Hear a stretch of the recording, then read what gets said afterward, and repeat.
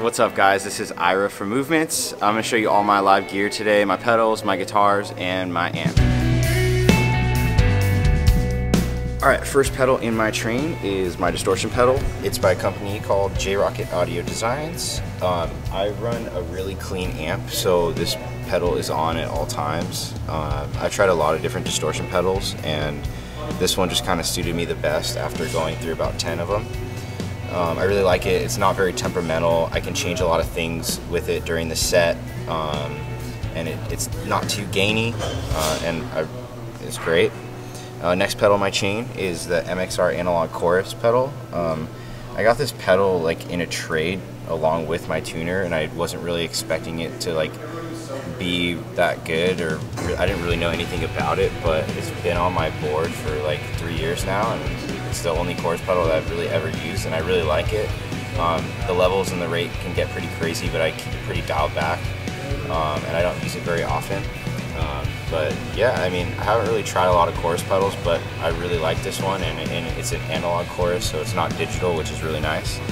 Uh, next pedal in my train is uh, the JHS um, Panther Cub. It is an analog uh, delay pedal.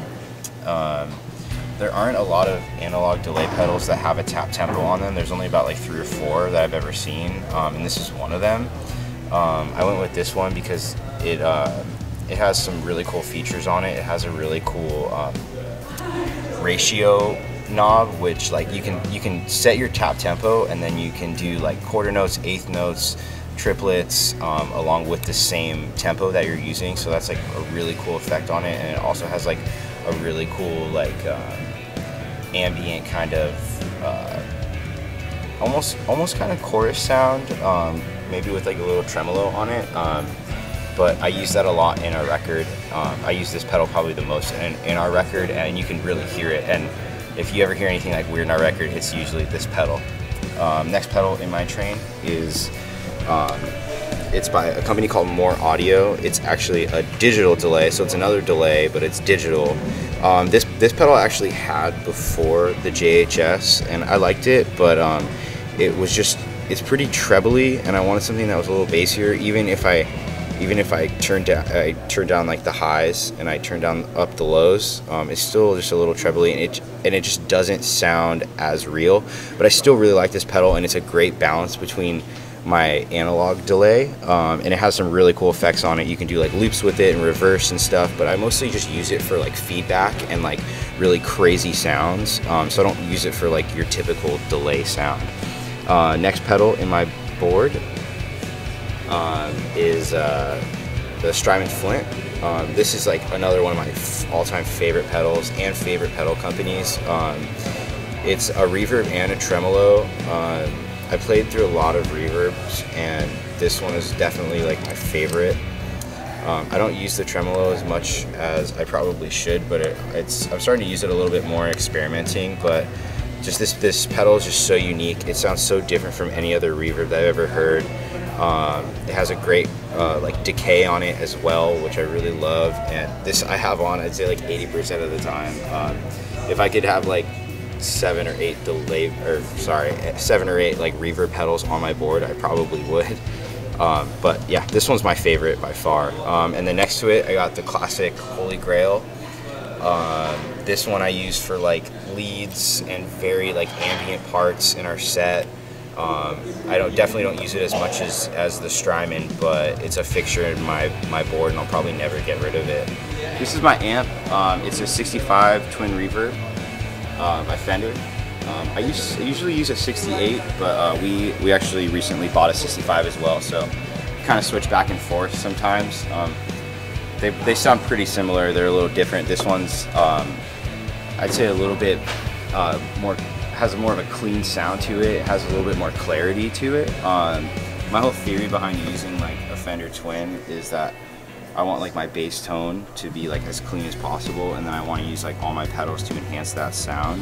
So it's kind of like you have like a clean slate and um, you're able to like make that tone however you want with still having that clarity and it literally does exactly that. Um, I've locked in my tones for it um, and twin reverbs are a little twangy sometimes so I, I kick my bass up pretty high, I have it at like six or seven. Um, the mids are at five and trebles at like five or six. So it's all pretty even across the board, but um, I love this amp. Another thing I really love about this amp is that you can turn up and down your volume and it doesn't affect your tone. And I find with a lot of other amps that that's a huge issue that I have um, at venues and stuff like that when people want me to like turn down my amp and I'm like, oh, it's gonna affect my tone. And I don't have to worry about that anymore. Like I can turn this down to two and it sounds the exact same as if it were at like seven. So um, yeah, it's definitely like my dream amp and like I'm so stoked that I have it. I'm using three guitars in our live set right now. First guitar I'm using is Fender Duosonic. Uh, I didn't really know much about this guitar when I picked it out, uh, but it is uh, two single coil pickups and it has a smaller fretboard length and it's really light, which I didn't know when I first got it, but it sounds great out of my Fender Twin. Um, I use this guitar um, for like a really low tuning with D standard and I didn't think it would sound that great being such a tiny guitar and being with such a low tuning, but it actually sounds great and I'm super stoked. Like the single coils are awesome and it's like a really cheap guitar that sounds like like it's expensive, which is really cool, and it's orange, which is like the best part. Uh, next guitar I've got in my arsenal is going on here. There we go. All right, it's a Fender Jazzmaster. It's the classic player.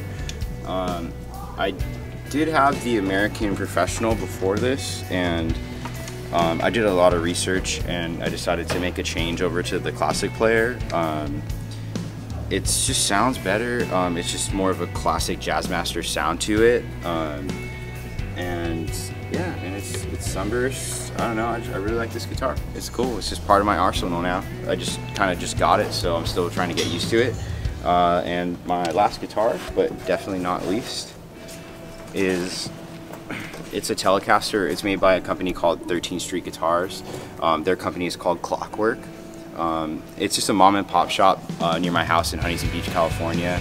Uh, really cool thing about this guitar was I was able to customize every aspect of it um, going down to like what kind of wood I use for my fretboard, which I picked bird's eye maple. I was able to do the, the double white binding on the body of it, which I don't really see a lot on tellies. Um, was able to customize the pickups that I wanted um, and just everything about it. The no inlays on the neck. I have them up top though, so it looks kind of cool, you know. When I'm playing, people are like, "Oh, what is he playing?" or whatever. Um, but yeah, this is my baby. Like I use this for a lot of the record that, that we did um, and it's super versatile and yeah I don't think I'll ever get rid of this guitar. Um, it sounds so so unique and I'm like so happy with it and I've had it for almost four years now. Hey guys that was my gear. Thanks for walking through it with me. Um, I'm sure there'll be more to come but that's it for now. Thanks for watching